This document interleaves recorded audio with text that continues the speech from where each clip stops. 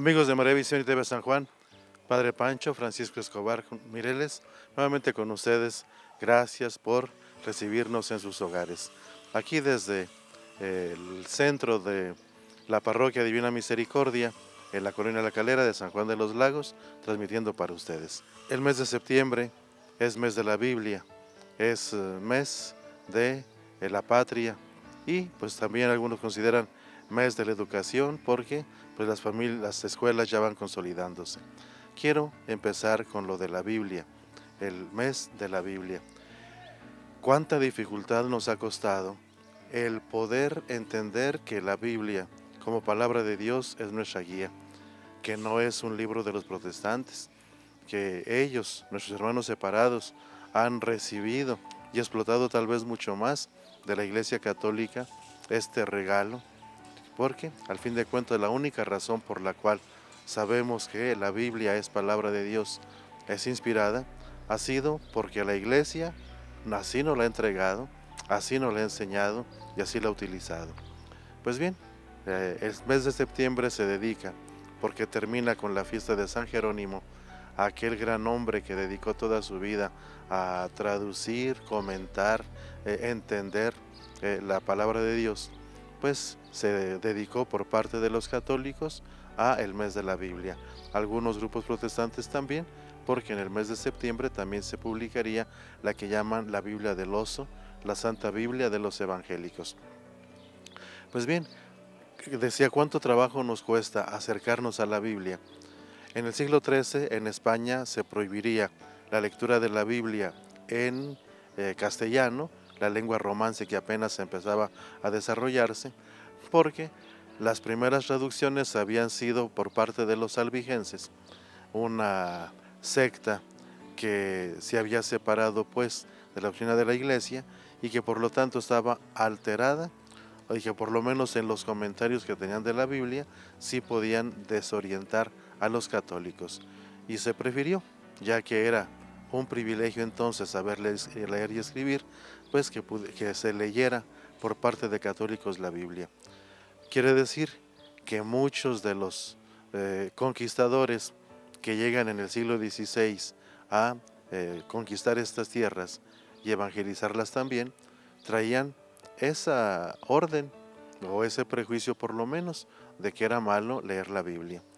Ya en la evangelización acá vienen también los protestantes con su Biblia en alemán y de allá las distintas lenguas. También con la posibilidad de ciertos errores, por lo menos en su interpretación. Y entonces eh, la iglesia decide en el concilio de Trento que la Biblia no se traduzca del latín a las distintas lenguas, sino que permanezca la vulgata en latín y que de ahí los sacerdotes la expliquen a los fieles. Bien, pues yo creo que es el mes de septiembre la ocasión de sacar nuestra Biblia y de seguir la guía de la iglesia. No es como cualquier libro que empiezo por la página 1 y termino por la última con el índice porque no es una novela. Biblia significa en griego libros, es toda una biblioteca. Y entonces, eh, más que nada, es la palabra de Dios, que es Cristo, palabra de Dios encarnada, y por lo tanto un medio para encontrarme con esa palabra. Eh, a toda esa revelación de Dios en la historia, eh, inspirada por los profetas, en la enseñanza de la iglesia, en la vivencia de la iglesia. Bueno, se quiso dejar como muestra, dijéramos, congelar de ese río vivo una partecita que sirva como muestra a todas las generaciones. Y entonces, esa muestra es precisamente la Biblia, la palabra de Dios inspirada, para compararla con todas otras formas. Pero Dios no se ha quedado mudo, Dios nos sigue hablando. Y qué bueno que tenemos la enseñanza de la iglesia para podernos asegurar que nuestra interpretación es exactamente lo que Dios ha querido que nosotros hagamos. Pues mejor, sigamos esa pedagogía de la iglesia.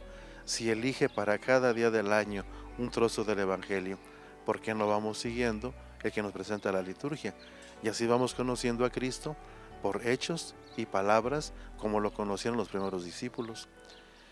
¿Por qué no hacemos un curso bíblico de historia de la salvación, que es nuestra propia historia, y que desde allí podamos nosotros ir leyendo aquellos pasajes selectos de la Escritura que nos van a ir haciendo avanzar en esto. Bien, mis amigos, Dios ha querido dejarnos su palabra escrita, pero en el libro es palabra muerta.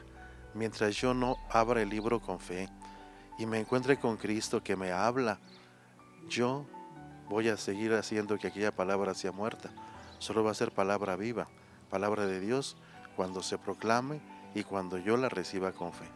Lo primero sería pedir a Dios su luz. Lo segundo, leer el texto, dejar que el texto me hable.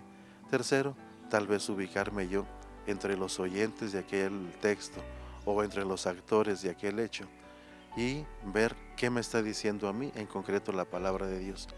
Y terminar con aquella oración en la cual por lo menos trate de repetir con mis propias palabras alguna de las frases que más me haya impactado y que eso siga haciéndose parte de mi vida. Gracias mis amigos por escucharme. Hasta la próxima.